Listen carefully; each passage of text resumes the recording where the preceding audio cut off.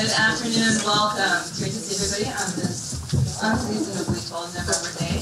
My name is Laura Heisler, and I am the Director of Programming for the Wisconsin Alumni Research Foundation. And WARF, along with Discovery for Products, is delighted to bring this Entrepreneur On series to you. Uh, the goal of this series is to connect campus innovators or would-be entrepreneurs with members of the business community and just kind of entre, entre curious community in Madison bring everyone together, uh, hear from some folks that maybe bring some different perspectives to the Madison environment, have a conversation with some experts who are locally based, and then have a drink afterwards and talk about what we've learned. And so that's what we're going to do today. Um, I do want to mention a couple of other events, a few housekeeping notes for how we'll proceed, and then I'll introduce today's keynote speaker. Uh, so next month we'll be featuring Thomas K.R. Stovall talking about business alignment for leaders at every level. This will round out our Entrepreneurons for the fall semester. Uh, stay tuned for what we're going to bring in the spring.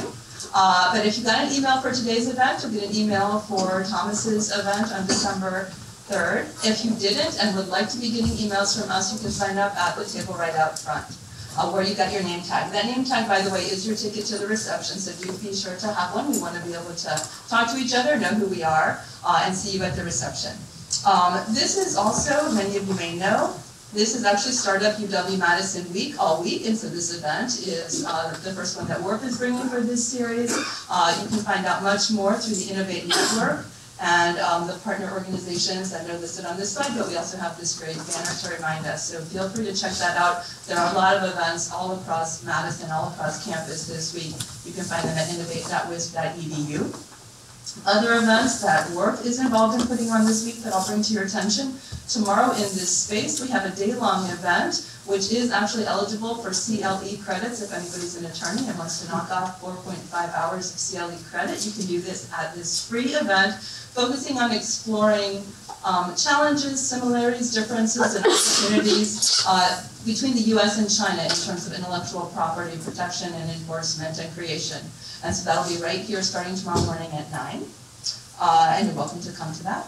And then um, at the end of the week, we at WARF are partnering with Marquette University to bring the third one and a half year, whatever that is, not annual, annual and a half, I'm not sure. Uh, Force for Positive Change event, which is an event that focuses on connecting social entrepreneurs in Wisconsin uh, with each other, uh, with some best practices, uh, inspirational stories, resources, learnings, etc. That one's up at Lambeau Field in Green Bay. If you're interested, it's still possible to sign up, and we'll be running a free bus from this building up to Green Bay on Friday morning, if anybody's interested in that. Uh, and so with that, I would like to take just a moment and read a very abbreviated version of Aaron Kennedy's bio. We are so fortunate to have Aaron Kennedy here. We've been running Entrepreneurons for six years, and we've been trying to get Aaron to speak at Entrepreneurons ever since we first started. So I'm excited. I'm a noodles groupie. Uh, uh, Aaron Kennedy earned his bachelor's degree in journalism and English at Augustana College in his home state of Illinois, for which we forgive him because he then came to UW-Madison where he got his MBA. Uh, he went on to do great things prior to starting Noodles and Company, which is what he's perhaps best known for in these parts. He worked at a New York brand design firm where he directed projects on some of the largest and most recognized consumer brands in the world, and I understand he'll be talking about some of these stories today. Brands you've all heard of like Coca-Cola, Burger King, Sears, Swiss Army, The Limited, the Denver Broncos, and the PGA. Prior to that, he was brand manager at Pepsi Cola and market research manager at Oscar Mayer Foods. Uh, when he concluded his 15 years of building Noodles and Company as founder, CEO, and chairman in 2008, the company had 170 locations in 15 states. He spent the last 11 years as a board member on a number of companies, many of which you've heard of, like Sartori Cheese here in Wisconsin, as well as the Napa Valley Ventures Association with Wine and Cheese. Uh, as well as being a mentor advisor for Colorado business accelerators like Blackstone Entrepreneurs Network, Boomtown, and Merge Lane. He also served as Chief Marketing Officer for the state of Colorado from 2012 to 2014. He currently serves on the board of the UW-Madison Business School and has been named Entrepreneur of the Year by Ernst & Young and is a guest lecturer at several universities, including here at UW-Madison. Most recently, he joined Titletown Tech in Green Bay as its first entrepreneur in residence. Please join me in welcoming Aaron Kennedy.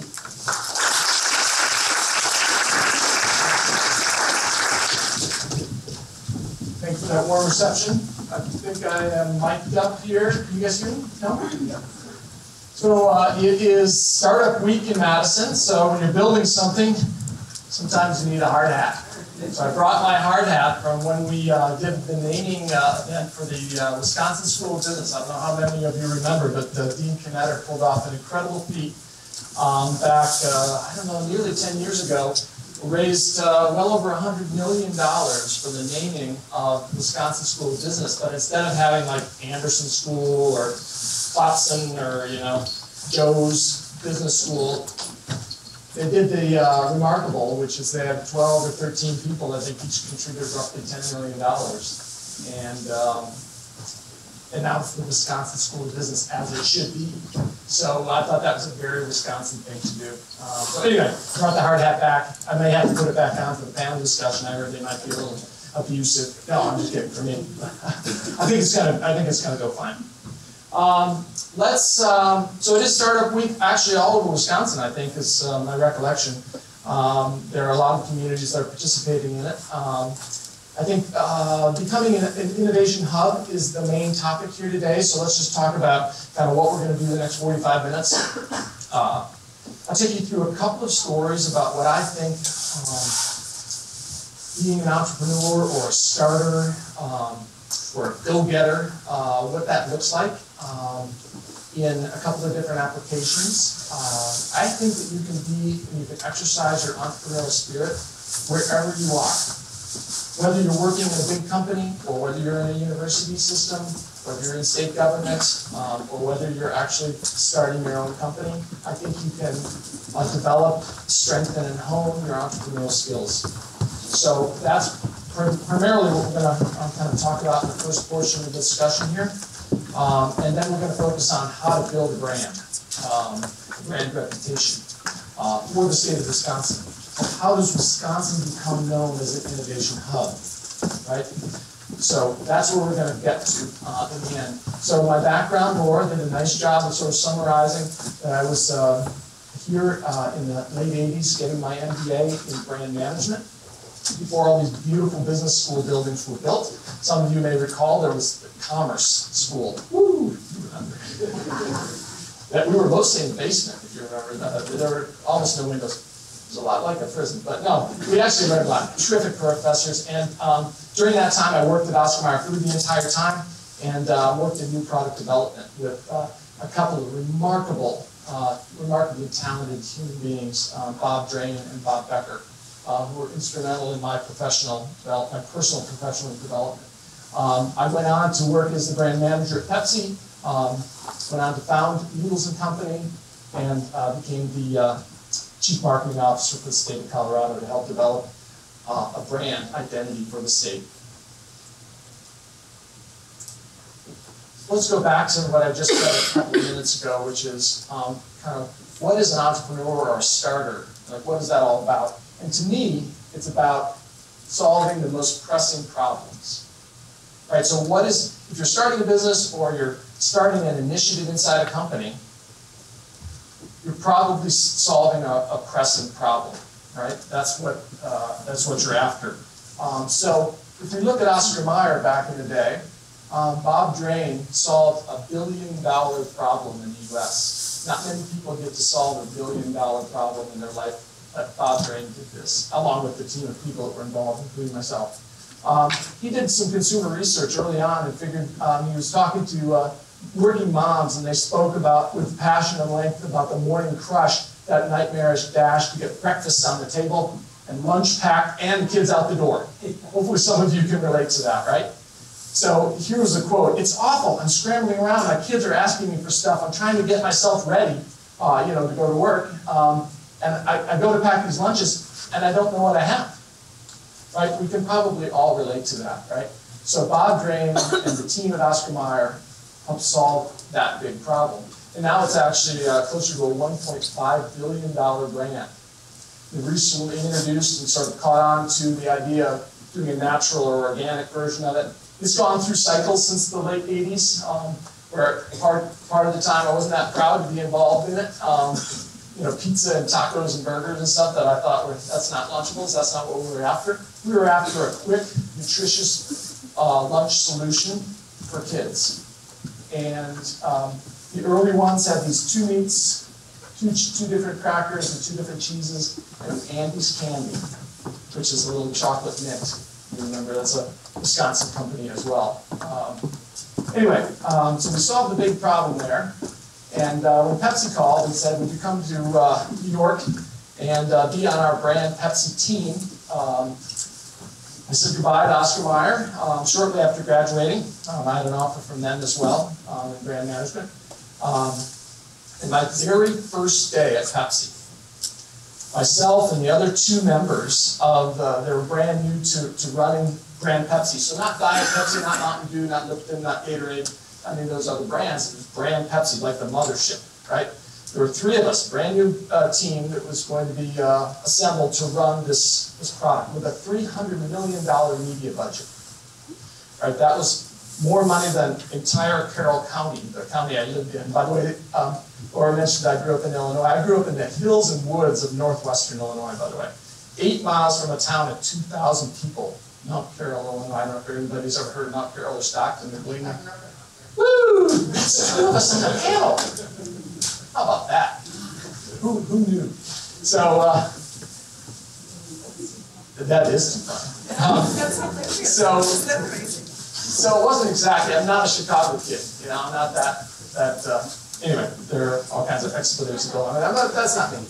Anyway, um, so, the kid from Northwestern Illinois gets a call from Pepsi to come to New York to be a brand manager of the brand Pepsi team. That was a pretty big deal to me, right? So, first day at the office, I walk in the door. Um, a few hours later, the, the vice president of marketing of, of all the brands at Pepsi pulls our little new brand team into the office. And she says to us, we just started airing the Madonna commercial a couple, oh, like a week ago, a couple of days ago. And uh, there's been a big backlash from some big portion of the U.S. population, or a significant enough portion of the U.S. population, that doesn't have that has religious um, arguments with uh, with Madonna in general. Okay, let's just leave it at that. And our commercial was sort of building off of one of her music videos that was kind of the heart of the problem. So we just spent a million on the commercial. In today's dollars, that's like 10 million. But um, no, not really. But uh, we just spent a million on commercial, and we had something like a 30 or 40 million dollar media push behind it. And she said to us, "We're going to pull this ad, and you have to figure out what to do." So what we did, long and short of it, is that we learned. Uh, you can see right here, I kind of say here that our brand image and sales of, uh, Pepsi were really being tied to these celebrities historically, Michael Jackson, um, Madonna, and others, right? Well, after a couple of months of work in consumer research, we determined that we're going to build our, rebuild our own brand foundation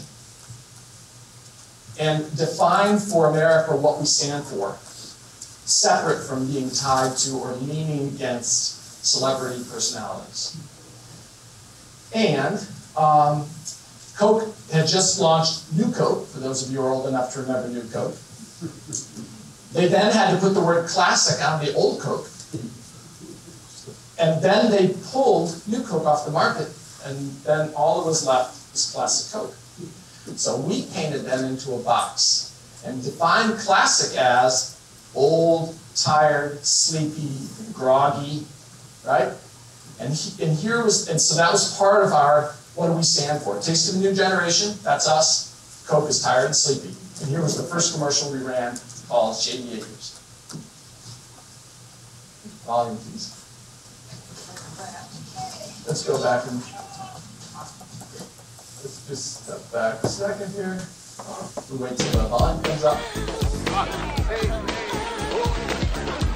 Rock and roll is okay, but I prefer rap. Hey, dude, I don't. Hey, hey, awesome, This music is good, but nobody can touch Hendrix. Awesome. Wait a second. Shady Acres was supposed to get the Coke, and the frat house was supposed to get the Pepsi. Coke, Pepsi, what's the difference? I 24.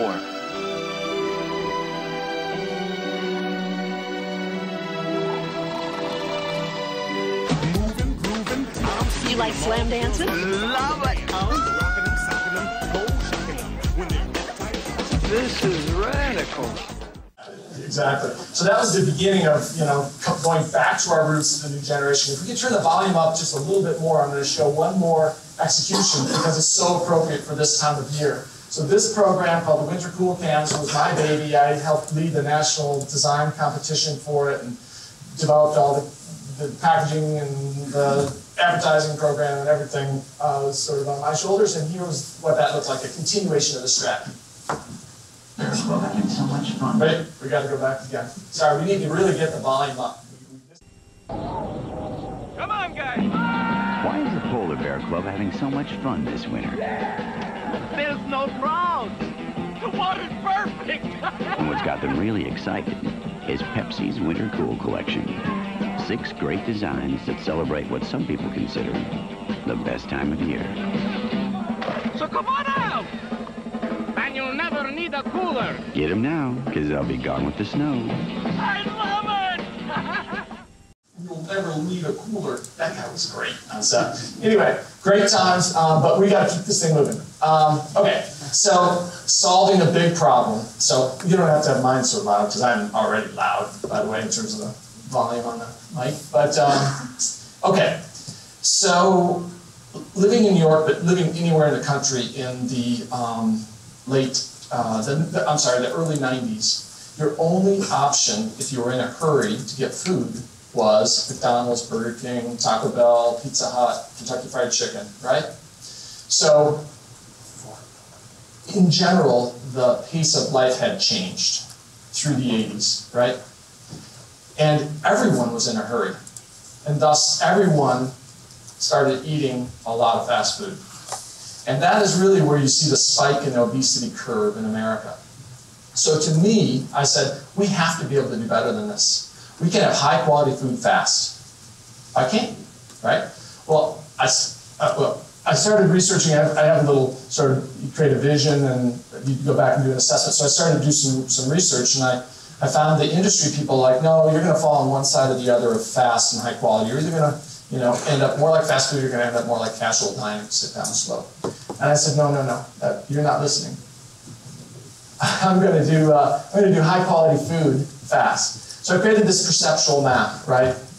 Probably familiar with this concept. Said, what are the most two two most salient um, uh, drivers in the restaurant industry?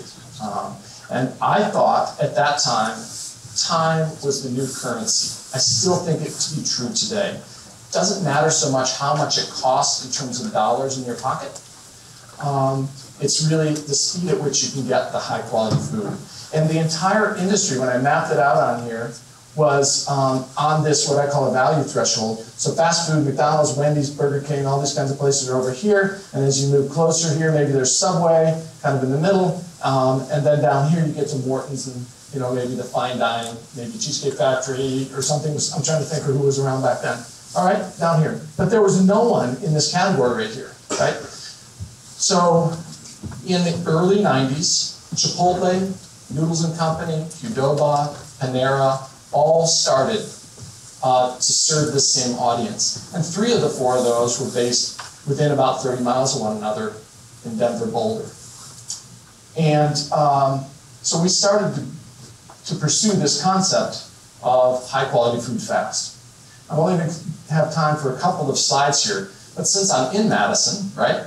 So, and I spend a lot of time in Wisconsin in general because I have a home in northern Wisconsin. I have for 10 years, and uh, uh, a lake house up there. So I'm, I'm already a big proponent of Madison long before that, of course. Um, and uh, you have to have a lot of love in your heart to sign a lease, 10-year lease for a building that looks like that.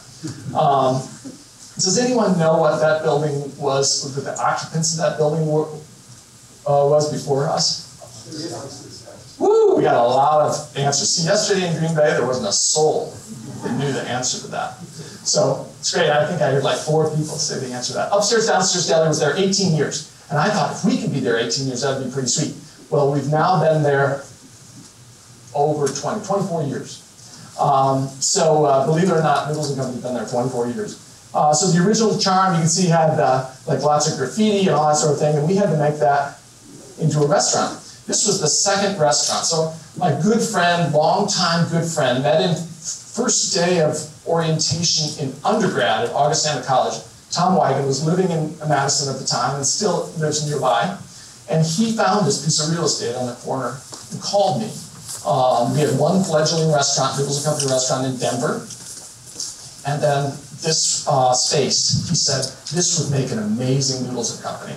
And Tom shared the vision and the enthusiasm for high quality food fast. Let's feed the nation better than they'd been fed in the past. Um, and so he and I both got an on the job PhD in entrepreneurship, uh, building out this restaurant. So a lot of stories about how we struggled, but this was certainly one of the most poignant uh, memories. And I'm, I'm not going to take you through the whole story. Some of you have heard this before about being underwater, literally and financially, and uh, in, in, at State Street. But the third week after opening, this article dropped in the Wisconsin State Journal. So Noodles and Company is a great idea, but the food comes up limp. Whew. Well, let's read the first paragraph real quick. See what we think of that. If ever there was a killer idea for a fast food chain, a real beat the band, hands down, gold medal, go for the gusto winner, Noodles and Company is it. And I read no further. no, I'm just kidding. You, you, do have to you do have to read your criticism. But um, remember, this is before the internet, uh, social media, and Yelp, right? So newspapers carried a tremendous amount of weight with your consumer, right?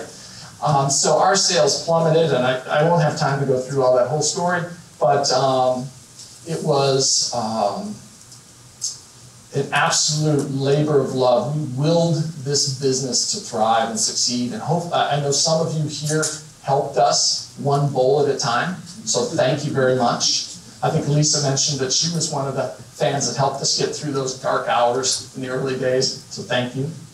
Um, so as you know, Noodles and Company has uh, gone on to survive and, and, thrive over the years, and now we have uh, 430 restaurants across 35 states, and so it's basically a national brand, right? Um, retaining the integrity of the food, uh, everything is still sauteed to order, uh, just like you would get in fine dining. Cold ingredients go into a hot saute pan right when you order them. And uh, if you want to hold the spinach and add broccoli, no problem. So it's mass customization. You can get it just like you like it. All kinds of good innovations have come since then, including the zucchini noodles and the cauliflower uh, rigatoni. Um, a lot of great innovation has come uh, in the last couple of years, but I'll always be thankful for our um, years here in Madison and appreciative of those uh, in the community who supported us in the toughest of times. So uh, thank you. Appreciate that. So let's talk real quick about Titletown. So Laura mentioned um, that I'm involved at Titletown. So I'm the entrepreneur in residence at Titletown. So I'm there every other week or every third week, roughly, in Green Bay. Um, and uh, Titletown uh, is, see, this is the building, and you may recognize that as Lambeau Field. So we're kind of in the shadow of Lambeau Field. And we were formed out of a partnership between uh, Microsoft and the Green Bay Packers. They, uh, the Packers kind of dreamt this whole idea up of creating an incubator. Um, I'll tell you a little bit more about this in a second, but what we do is we build, oops, let's go back for a second. We, uh, we, uh, uh, build and fund early stage high growth businesses. So we create them out of the ground, some, some of them, some of them we find that are already getting their feet under them. They have a good concept, they're ready to go, and we uh, fund and support them in our office building. Um, and others are businesses we'll just invest in that are already up and running and, and going uh, full steam. The University of Wisconsin system contributed me to the equation. So I am actually an employee of the University of Wisconsin system, uh, and I work for and am placed in Titletown Tech. And so that's the contribution the University of Wisconsin right there is making. And 12 Wisconsin companies each contributed a million dollars, each of them. Uh, and so now we have a $25 million fund to invest in those companies in those three different stages. Um, so as I mentioned just really quickly, we have an innovation lab, we have a venture studio. So the innovation lab identifies and explores digitally transformative solutions. Uh, we have a venture studio that develops creative market solutions and leverages resources against new and existing startups. And then we have a venture fund, like I said, that we invest in. Um, So this fellow right here, you might recognize as Mark Murphy, the uh, CEO of the Packers. And beside him to his right is Brad Smith, who's the president of Microsoft, who was just there in Green Bay three weeks ago at this uh, event where we kicked off, and they're in the upper left-hand corner as well. Um, so Microsoft is not just putting money behind this, they're putting resources against it. They have a technologist in residence that they've just uh, relocated from Seattle, their headquarters, to Green Bay. Um, Brad Smith is actually uh, from Appleton, Wisconsin. So uh, he has roots there and cares dearly about this project. And we uh, focus on five verticals, sports, media, and entertainment. So we don't invest in anything. We're not, you can't get your head around everything, right? You have to specialize. So we chose ones that were really relevant in Wisconsin in general. Sports, media, and entertainment, digital health, advanced manufacturing, so robotics, that sort of thing. Uh, supply chain, which is already a great strength, especially in the Green Bay area with uh, Schneider International and Breakthrough Fuels and some others. And uh, agriculture, water, and environment, a big priority for us. So, all right, so the heart of this discussion is really about figuring out how to help Wisconsin collectively here and beyond these walls um, become known as an innovation hub. That was kind of the title of the talk today. So I'm going to take you through how we thought about conveying what Colorado stands for to the world. As the chief marketing officer of the state, I was asked, there hadn't been one before me, so I came in and they, they said, this is your task. I'm going to take you through what my task was. But just the basic premise here in Wisconsin and in Colorado is we must, we must define ourselves you know, for the world or someone else or everyone else will. In this age of social media, everybody can tee off and say whatever they think, right? And they can publish. And sometimes they have 50 followers, and sometimes they have 50 million followers. So, perceptions in people's minds, which we'll end this discussion with at the very end, um, are basically the reality that the world holds for this place. So, whether it's Colorado or Wisconsin, the image that people have in their heads of Wisconsin around the nation and around the world are their own perceptions. And many times they're not really accurate or they're certainly not complete. And so we recognize that uh, in Colorado, and that's what my job was about, figuring out what it is we want to tell the world. I'm going to take you through that. So I have this concept of you're either moving forward or you're, move, or you're getting left behind. That's true in your professional career. It's true in a company, it's true in a city, it's true in a state. Um, so I think. Okay, so you know, some might say, well, Colorado doesn't have any problems to worry about. You know, they don't have these misperceptions. Absolutely, they do. We were one of the first two states, right, simultaneously with Washington State to approve marijuana, and so we had gone to pot per this, um, per this headline, right, uh, on television news, and. Uh, and uh, you know, it was it was all over all the television stations. It was the news and the talk of the talk of the news stations for weeks, right? We also had fires, and then we had murders, and we had you know just all kinds of problems. Um, when I uh, was one month from starting this job, we had uh, the nation's only, thankfully, um, mass shooting in a theater, right? One month before I started this job to help craft and convey to the world what we stand for. Well, we certainly don't stand for that, right? So, uh, you know, it was a steep hill to climb. So when we get to the end and we talk about, I share some of what I think are some of the limiting perceptions, some of the things that may hold Wisconsin back a little bit. Don't take offense to it and don't think like, well, I'm, I'm with you, right? I'm a property owner here. I love Wisconsin. I um, graduated of this university. I'm a member of the Weinert Center uh, for Entrepreneurship Board of Directors. Um, so, you know, I, am committed. So don't take it personally when we get to that. I'm giving you a notice. Okay. okay. So um, the governor, prior to my arrival, had circled the state and gotten the priorities. So this is like our playbook. What is the governor, the new governor for the state of Colorado, John Hickenlooper, going to do to advance the economy? So he's going to build a business-friendly environment, retain and grow and recruit companies, increase access to capital. But this fourth one, create and market a stronger Colorado brand. He had gone the first year and a half of his administration, and no one had done anything on this. All the other five had been worked on, and they had game plans, they had commissions and that sort of thing, but they didn't know what to do with this one. Is that typo intentional? Maybe. Number three. I'm hopeful. Maybe not. Oh. Oh, right, to the Capitol. We got one right down here. No, um, I should take full credit for that. Um, but, uh, it is, it is, it is, it was not intentional. Um, so, okay, so what's our mission? How does that, um, how does that create and market a stronger Colorado brand translate into a, what are we actually going to do? So we, um, took a, week or two to try to figure out how to convey what we were going to do. Like, what was the whole sphere? And it, this would be true for Wisconsin too. What's the whole sphere of creating um, uh, a new Wisconsin brand? Uh, what were we trying to accomplish? So, to unite state agencies under one umbrella brand and help Colorado become more competitive, um, become more competitive in the global marketplace for talent, trade, and tourism, right? So that kind of covered the whole thing. So we got, we got clear on that after quite a number of conversations. We also recognized that we had a toolbox of, of uh, graphic icons already, right? We had the state flag, which many of you might recognize at the top of this, and we have the state seal. The state flag is very popular. It's used on t-shirts, it's used on marijuana shops, it's used on all kinds of things, right? Um, and so it's not ownable. It's what an attorney would call in the public domain, meaning you can't protect it. You can't keep people from using it. So we really couldn't use it as a state brand, although many people tried to convince us to do that um, in our group.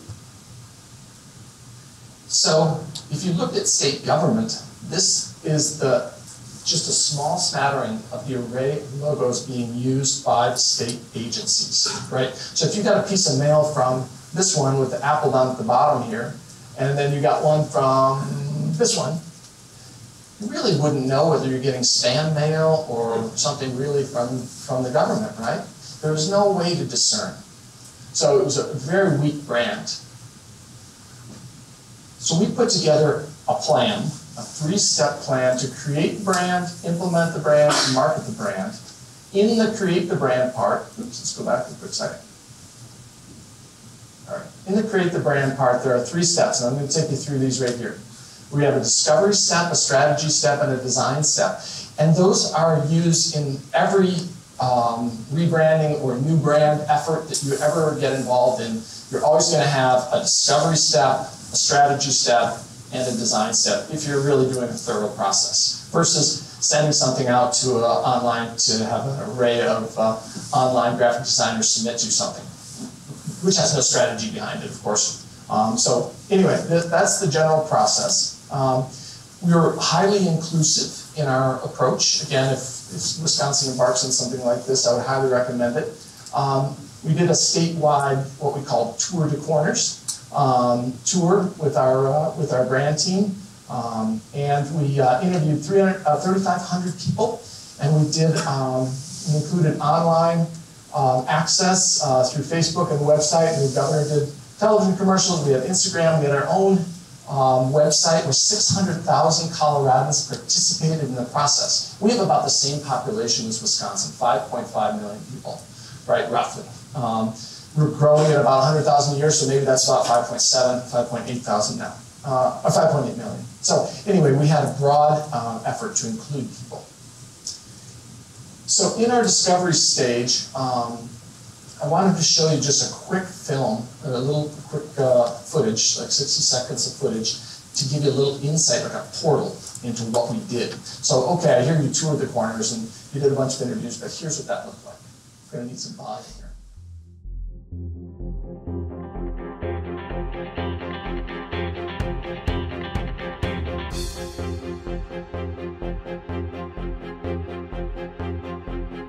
people have just been here for generations. This originally was Mexico. I could uh, predate our existence here in Colorado to uh, 10,000 years ago. Colorado put the wild in west. You know, there's a level of freedom here that a lot of people don't have. So what other what are the threats to the way of life you have here? Non-use of our resources, regulation. We impose a lot of policy on some of our high-paying jobs. The biggest thing we fear we have out here, I think, is water. We're dealing with the Colorado River Compact, the water rights. I think water is a huge issue, and I think education is a huge issue. Highly educated people from around the country want to come here. We should be training and educating students to stay in Colorado. We need extreme solutions, but we can have a moderate approach to get there.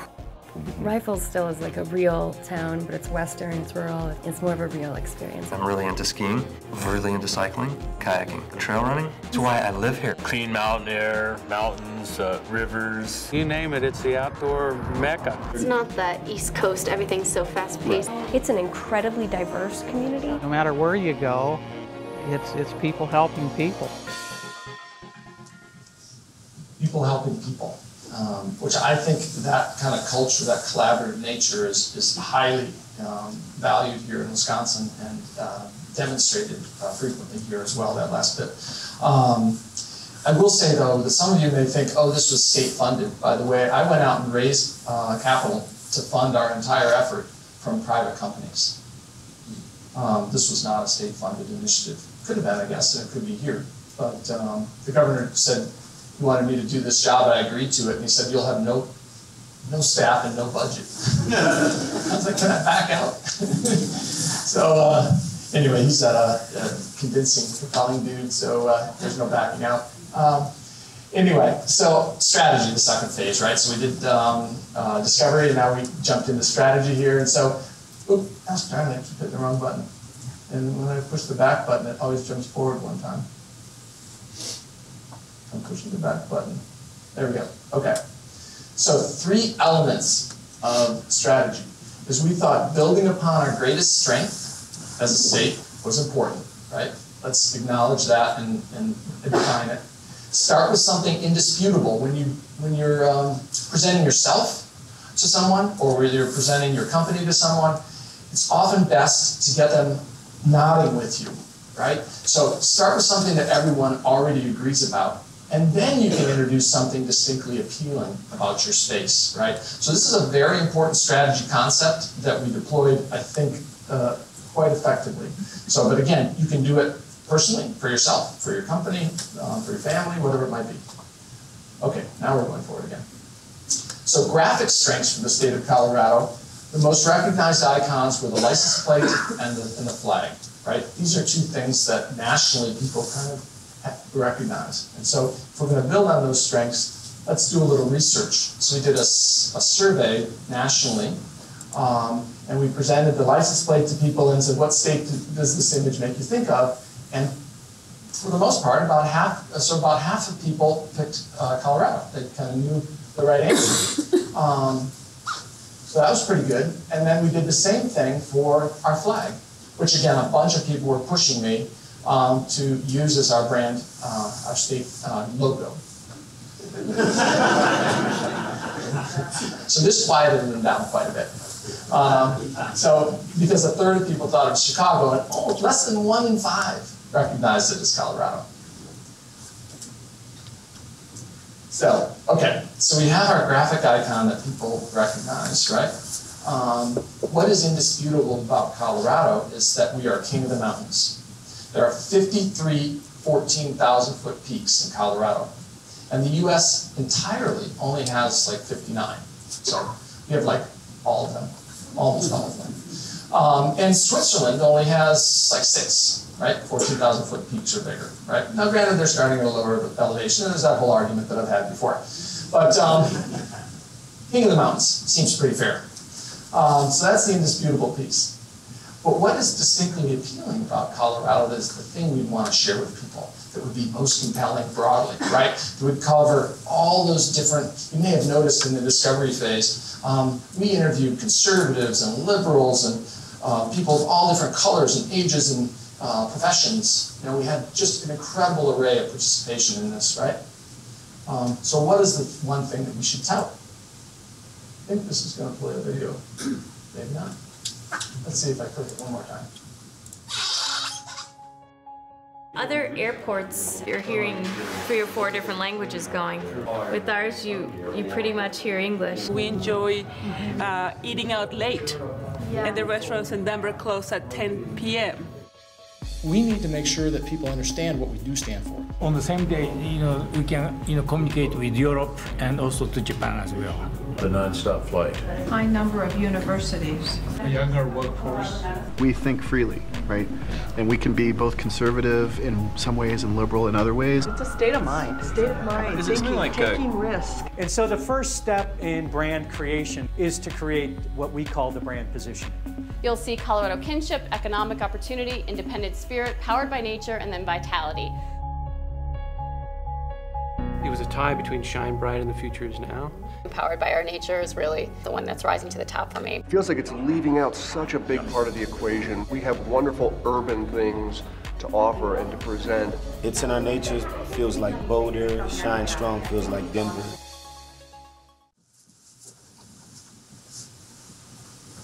So as you saw in there, we defined five pillars, um, vitality, Colorado kinship, economic opportunity, independent spirit, and powered by nature um, as our five core pillars of the brand that we would build upon, right? So in the end, um, that all distilled down into this brand positioning for the entire state that encapsulated everyone, right? For vibrant, success-oriented people who want to live and grow in an inspiring place and be part of an inspired community, Colorado is the state where you can live the life you want. Right? So you don't have to sacrifice your professional pursuits for this world-class lifestyle that people know Colorado for. You can have a world-class job as well. Right? That might not have been the case 25 years ago or 35 years ago, but it is today. Why? Because it's our nature. And that's a double entendre. That's our natural environment and our people. This collaborative nature, right, that are that was encapsulated in some of those qualities I just talked about, right? So then we moved into design and we did, um, I, I, we, unfortunately, we're kind of running low on time, so I'm just going to have to show you the, quickly the design. We asked Coloradans, tell us or show us what Colorado it means to you. Onward and upward. Timeless. I think it's magnetic. Pioneer the future.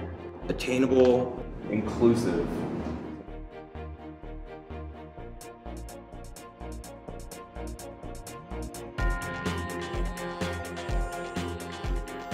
The notion of that bar is, is to be aspirational.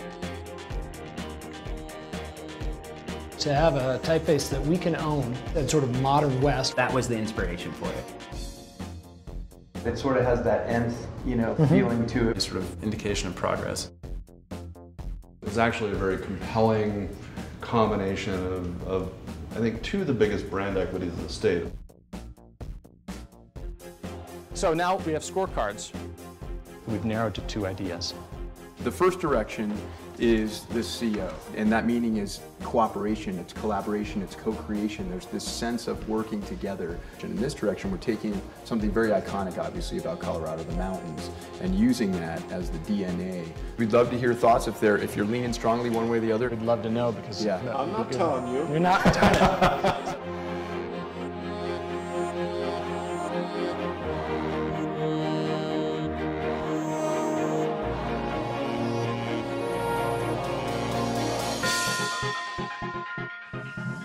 So we had a 12-person uh, design team that we picked, handpicked uh, individuals from all over the state. Again, different ages, genders, backgrounds, but they were all graphic designers, professional graphic designers, and you saw them at, at work there. Um, so we've chosen one of those directions um, to pursue, um, and that direction was the peak, right, which sort of built out of the state license plate and demonstrates that we're the king of the mountains, right? It also has this forward progress component.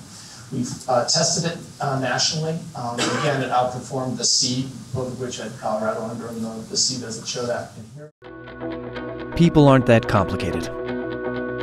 We want to wake up with a smile. We want every day to feel like an opportunity, to be surrounded by innovation and vitality and beauty, and others that share our vision. Most of all, we want to feel like we're doing what we're meant to be doing, that we are unmistakably excited to be alive. People live here like no place else. In Colorado, people live deliberately. Visitors come from all over the earth to discover our destinations and discover something about themselves. People come to start businesses, to learn, to work and play. They come to unearth secrets and share stories. In Colorado, you can live the life you want without compromising personally or professionally. Our state is a breathtaking backdrop where economic opportunities meet a pioneering spirit, where everyone is proud to call this place home. Colorado is where you'll find the most creative, healthiest, and happiest people in the country. Why? It's our nature. Our mountains, rivers, and plains, but also our vibrant optimism and creativity. Whether you're here for a few days or for a lifetime, this state will capture your heart. So together, let's share with the world everything we love about Colorado.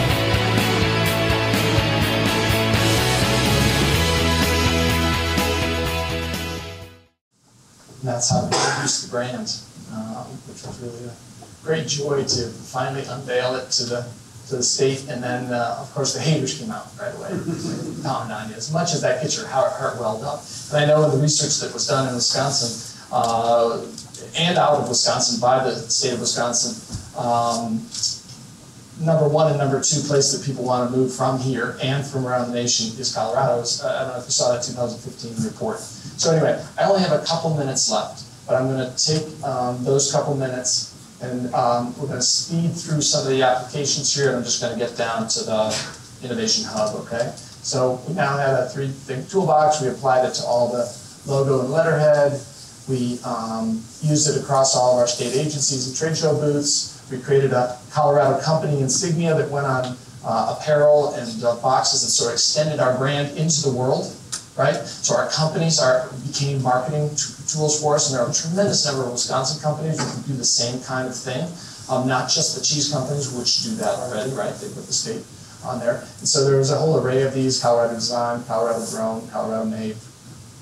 All, tons of great companies signed up, several thousand of them signed up and, um, and are using, deploying it on the products themselves and through tourism as well. Tourism was a bigger challenge, um, and if we do take this up here in the state of Wisconsin, um, there would be some good learnings to take away from our uh, challenges with our tourism group. Um, and anyway, so for Colorado, by Colorado, we built this ourselves um, from the ground up. We didn't hire a big international uh, branding agency. We did it from scratch. Um, so let's take just a couple of quick minutes and talk about making Wisconsin an innovation hub, right?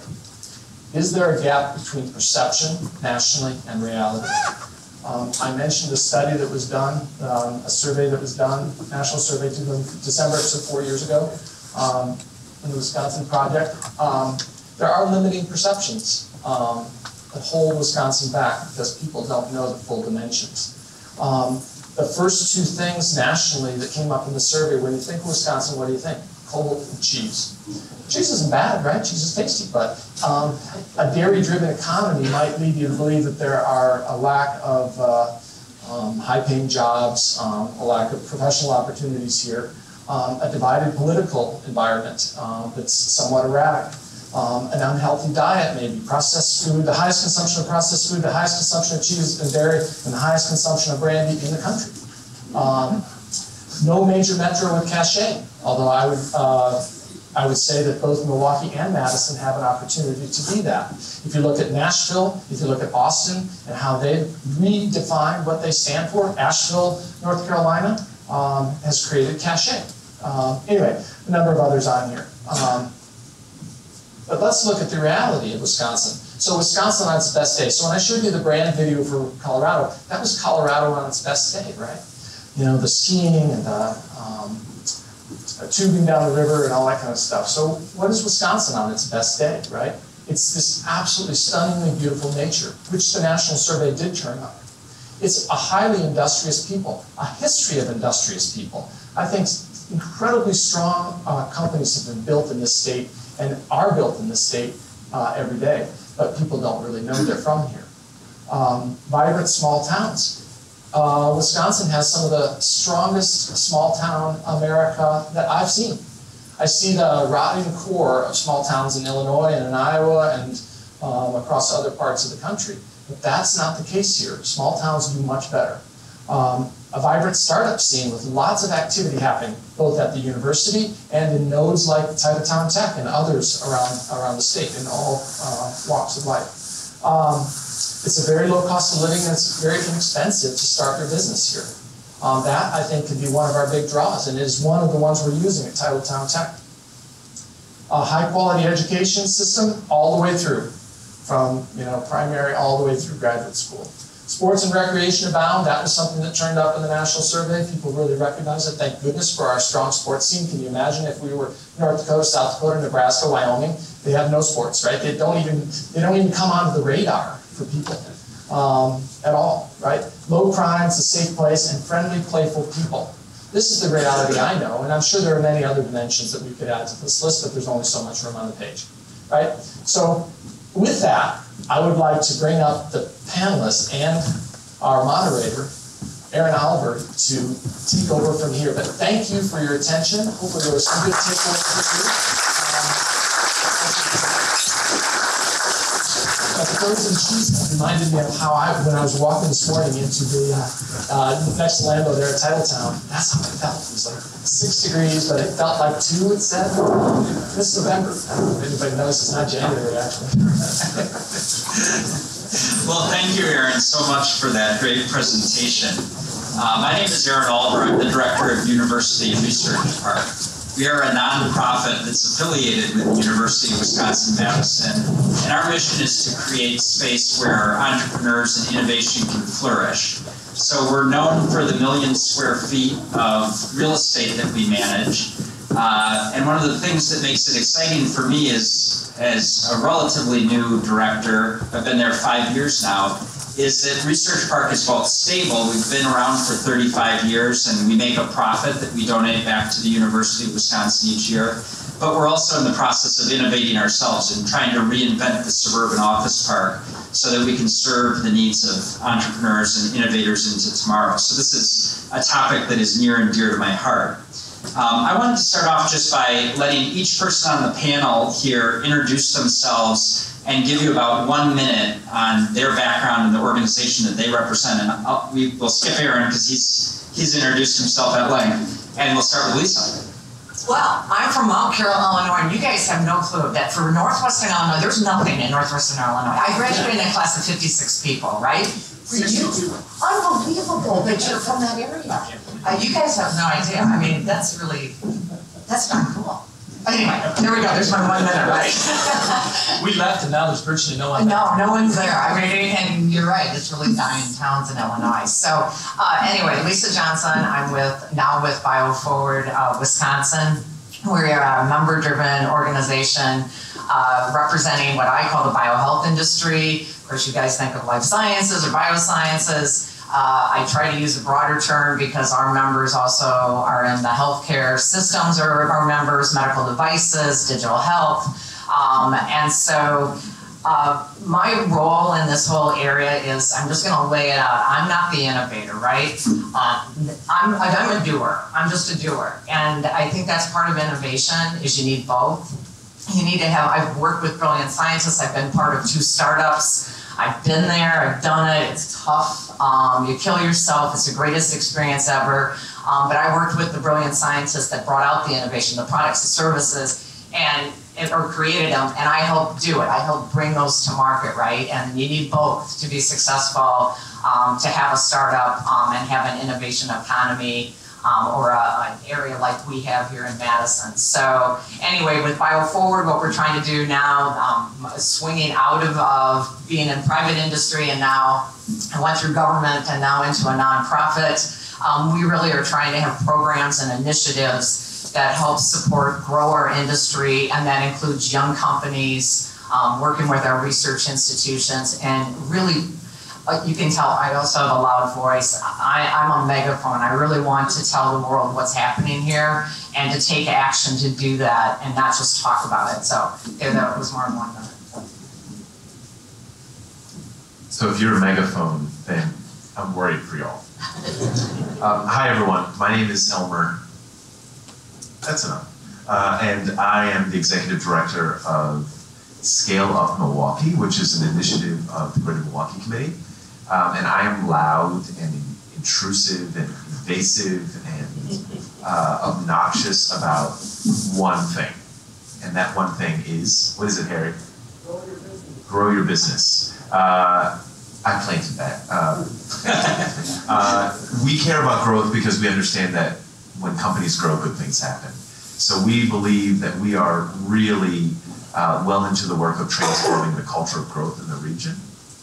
Uh, we do this in a couple of ways.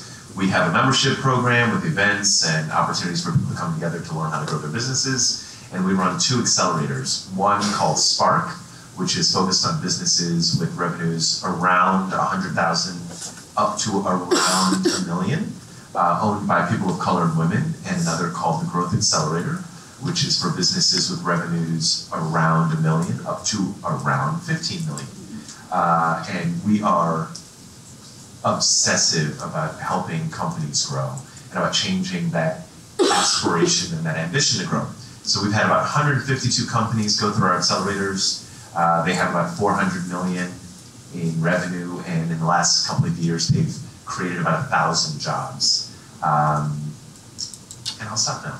Oh, I always have to make sure people know I am not from here. I've been in Wisconsin for about six years. I am from the East Coast, uh, and I wear that tag of being pretentious, obnoxious, and pushy with pride because I'm putting good use in, in a, a phenomenal state like Wisconsin. I think that's a good follow-up. I also am not from Wisconsin, and we're talking about branding and messaging, I think a lot of graduate students will share that story that they came here and then somehow Wisconsin kept them, and that's what it did to me. And I also convinced my entire family to move here, except for my brother. I haven't gotten him yet, but I will eventually. So there is something special about what Wisconsin does. Um, hopefully that can be captured. So my name's Idella. I work with a program that is part of the University of Wisconsin system called the Center for Technology Commercialization. Um, I guess our main element is to help companies be competitive for the $3.7 billion federal program that is the SBIR Small Business Innovation Research Program. But within that, we've developed a lot of programs, um, many coming on board in 2013 when I came on, uh, on staff, many because of Lisa Johnson here at the end of the table. So uh, you can thank Lisa for programs like the Ideadvance Seed Fund and the SBIR Advanced Program. But through the uh, mechanisms of these competitive grant funding opportunities, we developed some robust curriculum that help reduce the risk in competing for these kinds of uh, you know, competitive opportunities, but also kind of reduce the risk for those who are new to the entrepreneurial process, those who are new to the grantsmanship process. It's my personal passion that entrepreneurship really is a gateway. It's a skill that everybody needs to get. Um, and it's also a, a continuous learning skill. So even if you are an entrepreneur, there are definitely new things that you can learn about being a better entrepreneur to grow your business. So we've developed programming and communication that not only helps those who are new to the process, but hopefully also helps those who are um, who are existing businesses but want to go into some new markets. And that's the other area that I've become very passionate about. I think this world of SBIR, I know we're going to talk about this later, has been kind of focused on that technology, but something that was said earlier is that innovation is about um, solving pressing problems. Innovation does not necessarily mean technology. So one of the things I really want to try and get across is that there are so many innovative ideas that are funded through the SBIR program that aren't necessarily the traditional idea of technology. My favorite is the fish farming guy. I want to share that. So we have a, a client who got some USDA funding. He says walleye, um, being able to better farm walleye is an important thing. It could be a good economic driver, but turns out walleye are cannibalistic. So how do you improve a farming system for walleye so that you can uh, produce more walleye, feed our existing fisheries, um, produce more wildlife for people to buy and eat? That is a question that was funded by uh, SBIR. So I want more people to be able to take advantage of this robust program. Thanks, Idella. So our topic today is Wisconsin is an innovation hub, and there's really sort of two parts to that if you, topic if you think about it. One part is how do we project the innovation that's going on in Wisconsin. That's sort of the brand question that Aaron was introducing. But of course, for your brand to be authentic, it has to have proof points. So we also want to talk about the underlying innovation sector itself and what we can do to make Wisconsin uh, more robust so that we have more to brand and more to sell. So I'm sort of curious to start by just letting the panel react to Aaron. What did you hear that caught your ear? Um, did you expand your to-do list or did you find anything alarming? So, so my favorite thing, uh, two of them. Uh, then the haters come out. I think that was actually a really important moment. Uh, one of the things that we don't acknowledge enough is, frankly, when we start to make progress, when we identify something that's scary because it's too ambitious, the haters are going to come out. And there's an opportunity for us to shift our culture to say, when the haters come out, we must be on the right track. Uh, that kind of resistance is one that, like drag, like aerodynamic drag, increases the faster we go. Um, the other thing is, and I, I could not uh, stress this more. Uh, Aaron talked about leveraging the region's growth, excuse me, leveraging the region's strengths. Um, we have to be really careful. There's no version of us uh, being a not very good example of someplace else. We should always aspire to be the best version of Wisconsin. And so, in the example of, of Colorado, let's not try to become uh, an oceanside state with great, you know, yachting and uh, clothes. Let's be a state that's really good at the things we do, whether that means water technology, whether that's biotechnology, whether that is manufacturing, and so on. Um, I really love the idea of leveraging the region's strengths. Could I just play off of that because we talk on the phone, we want to make sure we have a little argument or something Yeah. or not. So, uh, Isn't it eight yeah, I Yeah. so. Hello, it's Yeah. on the- All right. Okay, so I agree on a point, but I had this down, but I took it a little differently, and I don't know if you guys feel this way, is that I, I agree on the strengths, but I think, um, this whole idea we gotta continue to be this dairy, you know, and I know you said we don't wanna just be the dairy state, but, you know, people see the strengths of we're this manufacturing state, let's really play off of that, and let's play off we're agri, you know, agricultural state. And you're seeing it correctly, we have strength in water, we have strength in the biotech, we do have strength in ag, and I don't mean to be cutting ag, because I do think it's important, especially as we're going forward, no question, water, extremely important, I think those are things we can play off. But again, it's this whole idea of, well, let's go back to our roots, what we're about. You know, I'm so tired of hearing that we're the industrial Midwest. I mean, the politicians even are like proud of that. Um, and so, and but that's a strength, right? Well, let's stop it.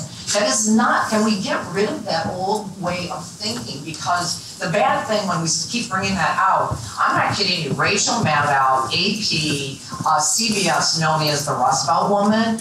I, I am constantly writing people, criticizing our media who continue to define who we are. And again, I realize that's not strength. I'm going off a little bit, but it, it's this when we talk about being kind of these manufacturers, and that's what I'm afraid that people continue to go back to our strengths, then we don't have opportunities to redefine who we are. And I really want this state for us to start really latching on about that where people want to be a part of this state with the biotechnology or biohealth, with the water, with ways that we're doing some innovative things in agriculture. Let's spin this on its head. But this old way of thinking, well, what are our true strengths? My God, the state's dying. We aren't going to have any young people here anymore. So I think we got to really turn that up. And I just don't want to be just always talking about our strengths because I think people do go back to the old way of thinking about who we like the origins of where we are today, and that I think that is really hurtful for us going forward. So. I, just to kind of add on to that, I, what struck me was the idea of communication and being intentional in what that communication was. Mean, you laid out a very clear strategy on how you kind of came to what that branding is. And as a scientist, I mean, the whole branding world is not in my wheelhouse of expertise, but we can all serve to be better communicators. And so I feel like what you guys have said is other people have defined us, and we've not taken the time to communicate who we are and really shape that, be, take control of shaping what that conversation is. I mean, the fact that Elmer is here from the East Coast and has stayed here and it wasn't. The fact that I have transported my entire family from from the south up to the frigid cold. Mm. Uh, and uh, you know, there's something that is attractive about that the state, and it's not being captured in, in our collective communication. And then also, there's power in what we all do individually for businesses at all stages, and there's just not a good, robust articulation of what that is. The best we've come up with is at least identifying, oh, you're the SBIR people, you're the GOAT people. But that's not even good. So we're just really not very good. We don't have the resources yet, but we've just not been very good at. We're getting better. Yeah, yeah, commandeering, commandeering the communication. But I thought it was interesting. I, I, I, when you first started, you went, now don't take it personally. And I thought that was really interesting because I, I, I worked for a company, Merck KGaA bought my company, and they would criticize us in Wisconsin, like, you guys are so sensitive. My God, just get on with it, right? So it's interesting though, you kind of were, you had to pick up on that because we we are a sensitive lot and we have to quit being sensitive, a little bit like yours, we have to quit being so sensitive and be, start being more aggressive, right? well, I think being sensitive actually was a driver. Um, yeah, absolutely. I think it's a, it's a strong driver. Uh, but again, it's all how you channel it, you know, how you channel that energy that you get if you're feeling defensive. So, you know, one of the things that has to happen for any good strategy is you have to build on your strengths. And part of what I'm sort of hearing here is saying that some of our traditional strengths might not be what we want to put forward today. So, you know, Elmer, I know that you are working with a lot of growth companies. You have kind of a powerful model for trying to unlock growth.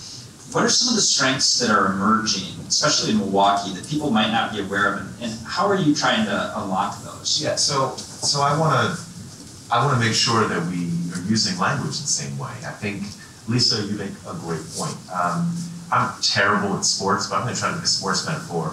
Um, you know, I imagine there's soccer players out there who uh, are really great kickers, except they're not great soccer players. And so they are discovered by the football team. And then all of a sudden they're playing high school or college football, but all they do is kick, right? So if when talking to that soccer player in high school, we thought of their, that person's strength as soccer, we'd get it wrong. Their, their strength is swinging their leg really hard.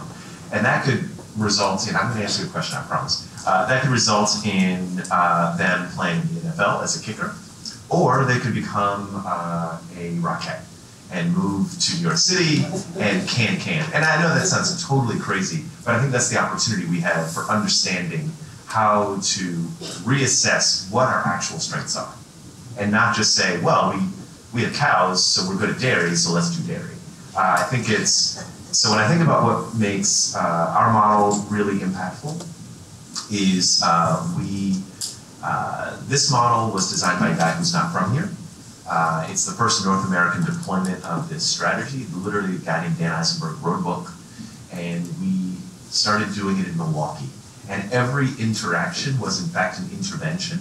So we are sensitive to the words that people use. For instance, we are not excited about the companies in our accelerators calling themselves small businesses. So when you say, hey, what do you do? And they say, I'm a small business owner. No, no, no, no. You're a growing business owner.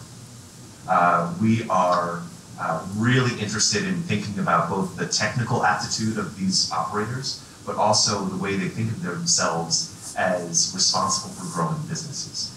Uh, we look at things like the change from the beginning to the end of their program in their projections. And the change in the projections symbolizes two things. One, did they learn something? And are they more confident in their ability to execute on what they learned through the business? Also, the belief that growth is important and the change in their, uh, frankly, their ambition so what we have really focused on, and we do a lot of technical things, is uh, those things that you whisper in ears. Uh, it's the subtle choices you make um, in the way you present information. It's what you choose not to say. It's what you what you will actually stop a conversation to course correct about. Um, it's being very clear about what our desired objectives are. Um, it's it's nuance and subtlety, but with a hammer.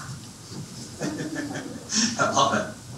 You know, Idella, um, you, were, you mentioned earlier that not all growth comes from technology companies. I actually think Noodles is sort of an interesting example of this. This is a hugely rapid growth company that if it was headquartered here, we would love to have all those corporate employees and, and home office employees here. Um, so, you know, how do we go about um, thinking about this problem of, of finding growth in more places where people don't necessarily think about it and, and who's out there doing that work? Yeah, so the, I said at the beginning that, that all technology isn't always innovative. And I think, so towards the question of finding growth, we I think spend a lot of energy trying to nurture innovation from really cool technologies. And we think that that's always going to work, we think that's going to work a majority of the time because they have millions of dollars of research behind them, maybe they have some IP, and um, you know that it just makes natural sense. Why wouldn't it always work? And so I think I would like to see us try and change our conversation and change our use of the words. First, I would like us not to continuously interchange technology with innovation because we then move out of the conversation companies like Noodles, companies like the fish farming guy.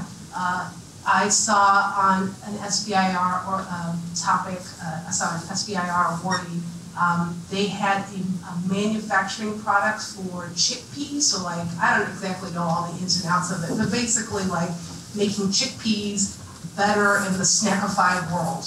I saw another NSF funded project for a better shopping algorithm. And I'm like, that, how did that get NSF funded? But it did. So there was innovation in that. And so I think if first words matter and trying not to exclude people from the conversation by, by using words in a way that might be restrictive and not inclusive, I think is, is one area. Um, I mentioned, you know, uh, having, so who's allowed to be an innovator? I'd love to be able to see more people come into the conversation. A lot of what I, uh, I, I, I, know from my own experience as a graduate student, I, our, our class was about half mixed, male to female. But I would not say that the kind of IP is half mixed. I would not say the kind of entrepreneurs that I see come into SBIR is half male female, right? So there's definitely something that could be changed to bring more women, professionals, underrepresented persons into that conversation. And the last thing I guess I would say is that the sexiness of startups seems to be, in all of the resources, seems to be restricted to those who are new teams in the entrepreneurial space. But it leaves out existing companies that could, as you're saying, um, add strengths. And innovation and disciplined innovation is a strength. Being able to create milestones that build upon each other towards growth is a strength. And we don't often create that space and those resources for existing businesses, which by the way is my plug, because SBIRs fund companies that are 500 employees or less. That's a lot of people. That's a, that's a lot of businesses that get left out of that big chunk of money and opportunity. So, you know, I'm a former management consultant, so of course, anytime anyone has a matrix, I am in heaven. So for me, the matrix that Aaron had was sort of the, the killer chart in there, showing that was kind of the innovation. That was the innovative insight that founded Noodles was it's not the app. I don't even, I'd be curious to know how the app is going um, that Noodles rolled out. But but the innovation was finding that new quadrant in the chart, and it kind of shows you that you can innovate even in the restaurant industry. And I'm curious, another another form of bringing um, non-traditional innovators into the conversation is is spreading it beyond Madison, beyond Milwaukee to rural parts. So I'm kind of curious to hear where you're seeing innovation, and particularly with Titletown Tech and in non-traditional industries. Well, I think in general, uh, you know, the urban areas, so Madison, Milwaukee, have um, the critical mass to support uh, entrepreneurs and startup, uh, the startup economy uh, to a far greater degree. But, you know, Appleton, Wausau, La Crosse, um, Horse Creek Bay, um, these cities um, have uh, the talent have enough uh, critical mass to support um, an incubator or an accelerator, or in our case, um, a uh, venture studio that supports and advances businesses. So I think um, you look at why would, in Green Bay's case, we have the Packers that are going to, they believe they're going to benefit from advancing the entrepreneurial uh, ecosystem in Green Bay. They think that it'll be easier to attract and retain talent, both players and uh, professional staff, if it's a vibrant city, right? It's very simple. You know, nobody wants to go to the end of the earth. And I was told uh, just yesterday uh, by an old timer in Green Bay that um, Green Bay used to be the NFL joke, like you'd get sent to Green Bay if you weren't going to, like it's giving such a timeout, you know? Um, but, uh, you know, they, they changed that. Reggie White and some other uh, pros came to Green Bay uh, on their own accord um, chose to go there. So, but the same thing, we need to have not just professional athletes choosing to go to these towns, but we need to have professionals choosing to go live in these towns, whether it's for the quality of life that they get, the cost of living there, the inexpensive cost of um, starting a company there, or and hopefully the big hug that they get from the community to help advance, start and support and advance their company that they're going to start. Nobody hugs like Wisconsin. Um, I want to go out to the audience and see if there are questions that you have. I mean that were warm and friendly. I was all I meant. Yeah. Yeah, I, I think Wisconsin's, oh, okay. Wisconsin's got great leadership. I mean, UW-Madison leads in Fortune 500 CEOs.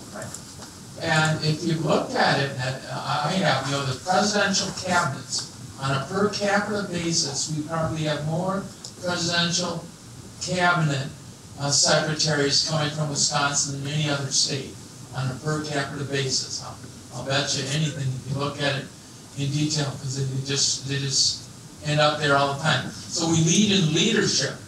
We lead in leadership. And another thing uh, we do lead in, uh, we are a manufacturing state, we lead in equipment manufacturing. So we're the manufacturer's manufacturer. We provide the equipment. Uh, and, and that's really, that's kind of our small state quality too. You know, there's like those vibrant small towns and so forth, equipment, you know, John Deere or something like that, you know, tractors. There's all, uh, uh, uh, lawnmowers, whatever. There's all kinds of equipment. Uh, I think those are strengths we need to look at. Reactions? I didn't hear a question in there, but. Yeah. Dan. I.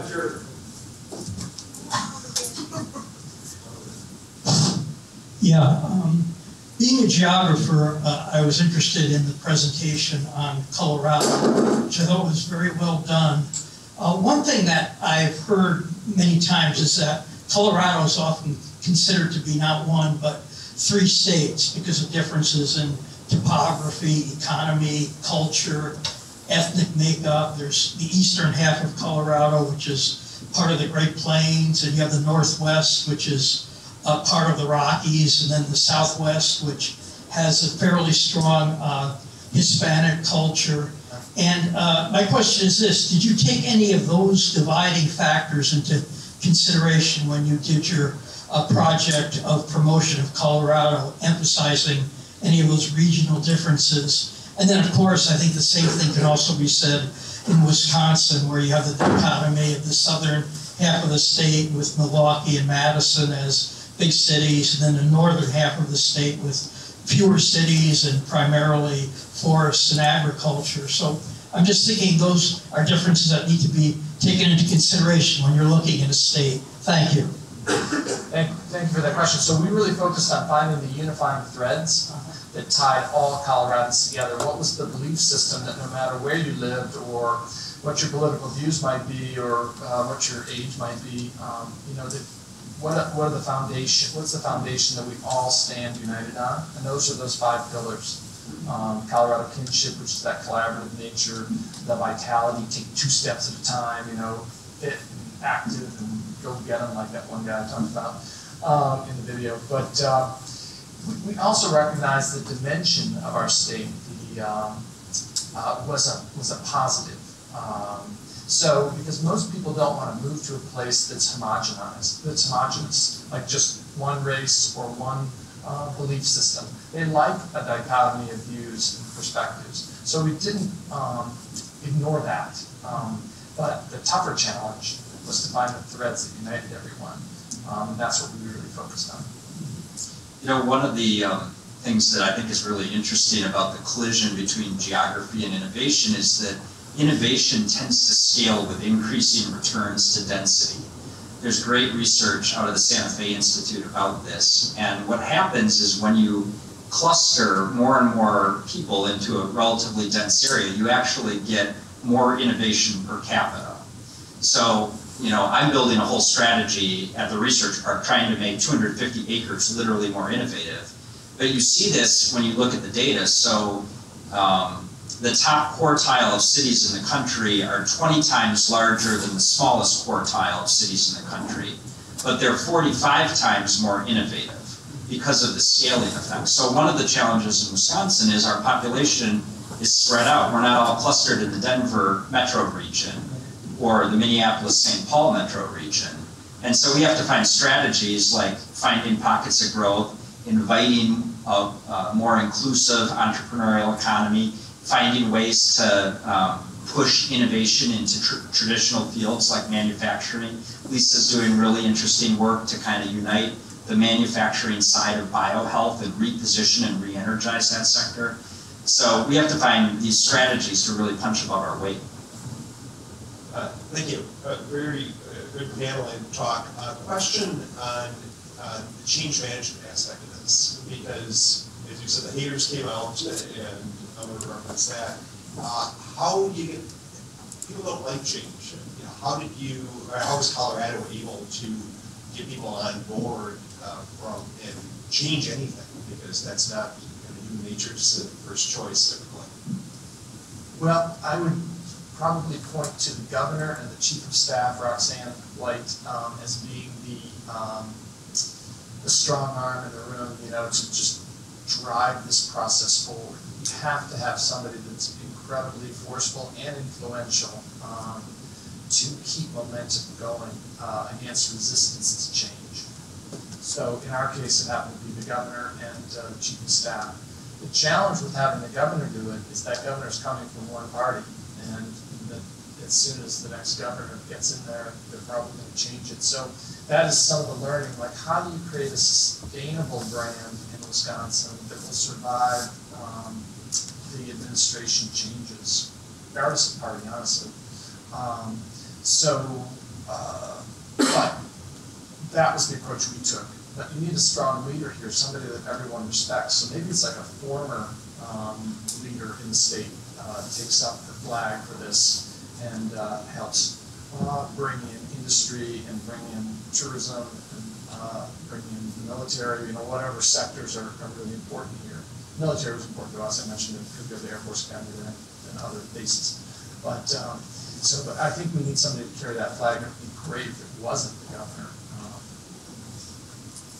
I do think WDC, I mean, you had mentioned that in our call, uh, Aaron, I think in the questions where the state itself has tried to do some of this branding. You know, WDC has done the in Wisconsin.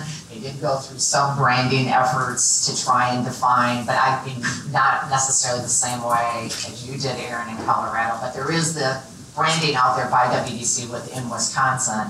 Um, and I think there's ways that we just have to play off. I just don't know, you know, my point, and I sound all negative before, and I'm extremely positive on this state. I think it is all about change, though, and trying to still send that message of how we have to change people's perceptions out there. And I don't think just the in Wisconsin is going to do it, right? That branding, because they don't know what that means. They don't know the power we have in a lot of our industries. And, and that's what we are trying to do with the biohealth industry is really getting out national campaigns to talk about the breadth of companies that we do have here. That if you come and have a job here, Um, if you're working at Paul Radspinner's Blue Gen and hey, you know, I like working for Paul, hey, there's like hundreds of other companies to go work for, right? But if that perception isn't out there. That.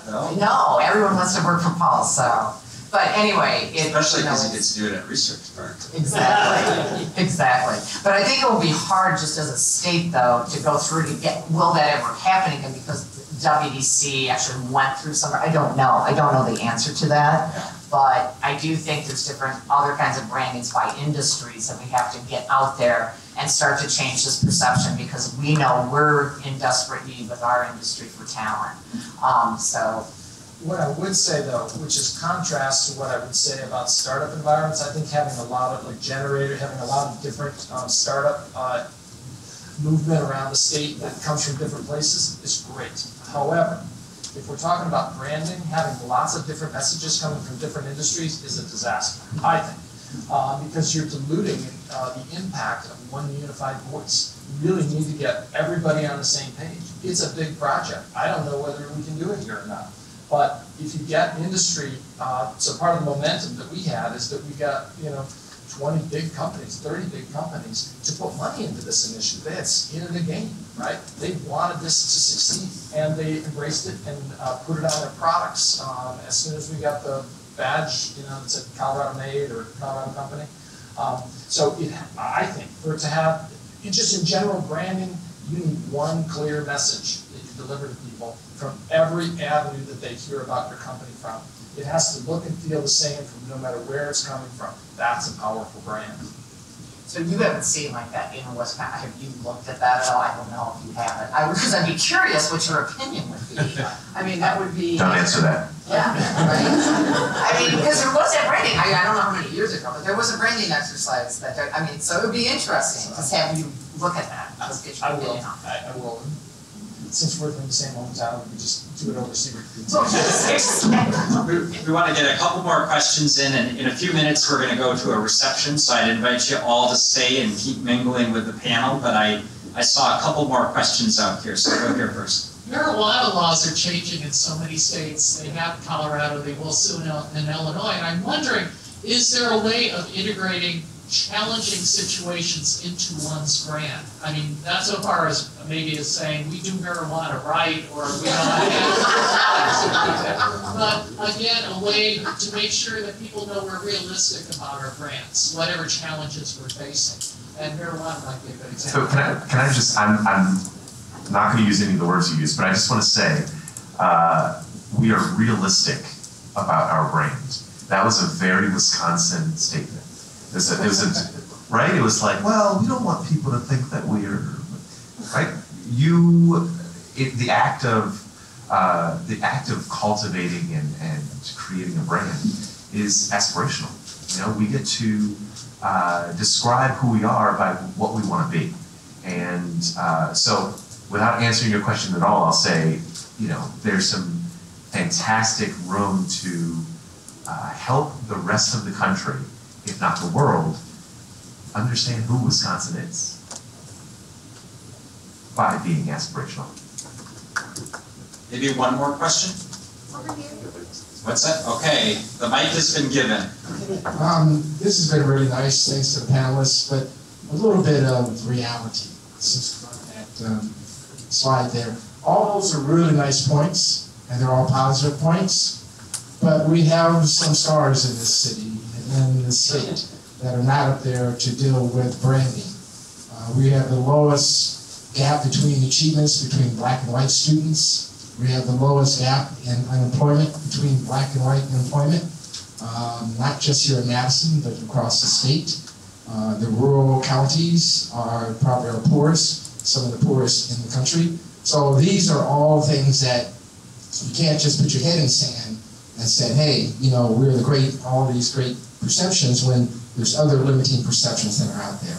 So the question is, is that how do you go about putting those in this equation and then coming out with a branding that everybody is, like you said, is going to take hold of and acknowledge and embrace. Thank you for that great question. So I think one of the things that we had to come to terms with is that the opportunity to shift to an innovation hub, if that is the decision, right? If that is the decision for the state. It is not meant to be a uh, an explanation, a real time depiction of who we are today.